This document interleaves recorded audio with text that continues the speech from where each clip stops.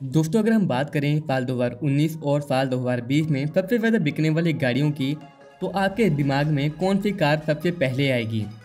अगर आप venue, Vitara वरीवा Alto या फिर स्विफ्ट के बारे में सोच रहे हैं तो आप गलत हैं। इस time current Indian order market में सबसे ज़्यादा बिकने वाली कार मारुति की बलैनो है। मारुति सुजुकी बलैनो की हर महीने करीब करीब अठारह से बीस हज़ार, कई बार तो पच्चीस हज़ार यूनिट तक आराम से सेल हो जाती हैं। और आपको जानकर हैरानी होगी कि इस कार को इंडिया में लॉन्च हुए करीब करीब पाँच साल से ज़्यादा समय हो चुका है। इस वीडियो में हम मारुति की बलैनो के बारे में ही बात करेंगे और ये जानेंगे कि बलैनो इंडिया में इतनी ज़्यादा सक्सेसफुल कार क्यों है। और इसमें ऐसा क्या मिलता है कि आम आदमी बलैनो को ही सबसे पहले खरीदने के लिए प्रेफर करता है।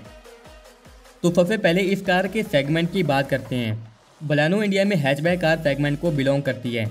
और इसी सेगमेंट में इंडिया में सबसे ज़्यादा गाड़ियाँ खरीदी जाती हैं क्योंकि हैचबैक कार सेगमेंट में मिलने वाली गाड़ियाँ इंडिया में करीब करीब तीन से आठ लाख रुपये के बजट में इंडिया में मेनली मिलती हैं। और इंडिया में आम आदमी बजट में आने की वजह से एक हैचबैक कार सबसे ज़्यादा प्रेफर करता है। और इसी के साथ दोस्तों बलैनो में आपको अच्छा खासा साइज़ और डायमेंशन भी मिल जाता है। बलैनो की लेंथ करीब करीब तीन हज़ार नौ सौ पचानवे एम एम है और इस कार की चौड़ाई एक हज़ार सात सौ पैंतालीस एम एम की है। और इतने साइज़ और डायमेंशन में इस कार के इंटीरियर में आपको अच्छा खासा कंफर्ट मिल जाता है और कार के अंदर पाँच लोगों के बैठने के लिए अच्छा खासा कंफर्टेबल स्पेस मिल जाता है। कार में दूसरा प्लस पॉइंट इस कार के फीचर्स का है। बलैनो में आपको वैल्यू फॉर मनी फीचर्स का पैकेज मिल जाता है। कार में आपको ऐसे फीचर भी नहीं मिलते जिनकी वजह से कार की कीमत ज़्यादा बढ़ जाए और मतलब कि काम काम के फीचर आपको बलैनो में मिलते हैं। फीचर्स के मामले में तो इस सेगमेंट की प्रीमियम हैचबैक कार्स के सेगमेंट में आई ट्वेंटी जैसी कार्स ज़्यादा बेटर हैं, लेकिन उनमें आपको ज़्यादा फीचर्स मिलते हैं, जिसकी वजह से गाड़ी की कीमत भी ज़्यादा चली जाती है। लेकिन बलैनो के केस में आपको वैल्यू फॉर मनी और कम फीचर ही मिलते हैं, लेकिन यूज़फुल फीचर मिलते हैं। बलैनो के फीचर्स की बात करें तो मारुति बलैनो में कंपनी कई सारे फीचर ऑफ़र करती है। जैसे कि कार में आपको key left entry push button start and stop reverse parking sensors with camera automatic headlamp steering mounted audio control automatic climate control car में सेवन इंच की टच स्क्रीन टाइम सिस्टम मिलती है, जिसमें आप कई सारे फीचर्स जैसे कि Android auto Apple car play और कुछ अलग कनेक्टेड कार टेक्नोलॉजी के फीचर्स को एसेस कर सकते हैं। और इसी के साथ कार के एक्सटीरियर में आपको एलईडी प्रोजेक्टर हेडलैम्प जैसे फीचर्स भी मिल जाते हैं। और इन फीचर्स की वजह से बलानो एक अच्छी कम कीमत में मिलने वाली काम की कार बन जाती है। बाकी सेफ्टी फीचर्स की बात करें तो बलानो में आपको सेफ्टी फीचर्स भी काम के ही मिल जाते हैं। बलानो में सेफ्टी फीचर्स के तौर पर कंपनी इसमें एबीएस के साथ E B D dual front air bags और रिवर्स पार्किंग कैमरा और सेंसर जैसे फीचर्स ऑफ़र करती है। बलैनो में कुछ ज़्यादा हाईटेक फीचर्स भी नहीं मिलते हैं, लेकिन आप इस कार को कम फीचर वाली कार भी नहीं बोल सकते। कुल मिलाकर इसमें आपको काम काम के फीचर मिलते हैं, जिसकी वजह से कार की कीमत भी आपको कम पड़ती है। यहाँ पर दोस्तों मैं इस कार का कोई प्रमोशनल वीडियो नहीं बना रहा हूँ।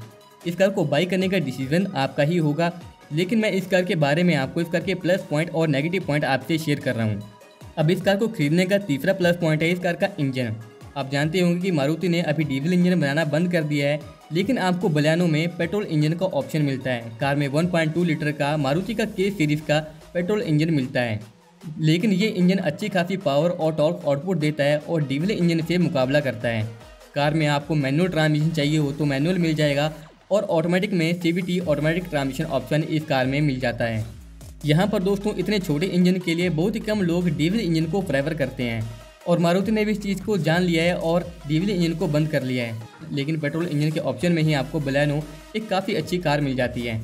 बाकी कार के इंजन की मेंटेनेंस जो है दोस्तों, उसकी कॉस्ट भी काफ़ी ज़्यादा कम है। और इस कार को बाई करने का तीसरा प्लस पॉइंट है कि इस कार की सर्विस नेटवर्क जो है मारुति का दोस्तों ऑल ओवर द इंडिया है। आप कहीं भी बड़ी आसानी से बलैनो की सर्विस आसानी से करवा सकते हैं। तो कुछ इस वजह से भी लोग बलैनो को खरीदना पसंद करते हैं। अच्छा एफिशिएंट इंजन होने की वजह से दोस्तों बलैनो की जो माइलेज है, वो भी काफ़ी अच्छी है। Automotive Research Authority of India ने बलैनो के माइलेज करीब करीब 21 किलोमीटर पर लीटर के आसपास क्लेम की है। तो अच्छे माइलेज की इच्छा रखने वालों के लिए भी बलैनो एक सुटेबल कार है। सेगमेंट की बाकी कार के मुकाबले बलैनो काफ़ी हद तक अच्छा माइलेज दे देती है। बाकी कुछ लोग दोस्तों बलैनो को इस कार की रिफेल वैल्यू की वजह से भी खरीदते हैं। मारुति की गाड़ियों की रिफेल वैल्यू बाकी कार कंपनीज़ के मुकाबले थोड़ी ज़्यादा अच्छी होती है। तो इस वजह से भी लोग मारुति की गाड़ी लेना पसंद करते हैं और बलैनो को लोग ज़्यादा खरीद रहे हैं। मारुति की बलानों की कीमत और वेरिएंट्स की बात करें तो बलैनो इंडिया में अभी हाल फ़िलहाल चार वेरिएंट्स में मिलती है, जो है पिग्मा डेल्टा, अल्फ़ा और जेटा।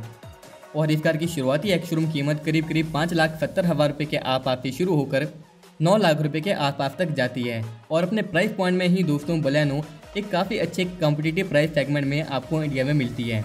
और सेगमेंट की बाकी कार से अच्छे प्राइस में मिलने की वजह से ही ये कार इंडिया में सबसे ज़्यादा बिक पाती है। वैसे दोस्तों पर्सनली आपको बलैनो कैसी लगती है कमेंट करके बताएँ। और वीडियो अच्छा लगा हो तो फिर लाइक करें और साथ ही में चैनल को सब्सक्राइब कर बेल आइकन को प्रेस कर लें। Thank you very much